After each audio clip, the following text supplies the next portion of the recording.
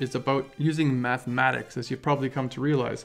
There's this great tool over here. Normally this is a tape measure tool, but of course with all of them there are options.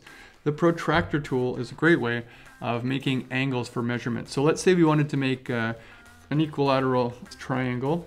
So we know that all of the angles are going to be 60 degrees, right? So if I tap on this here and I go this way and tap on it again, I can type in 60 and then it gives me a 60 degree angle.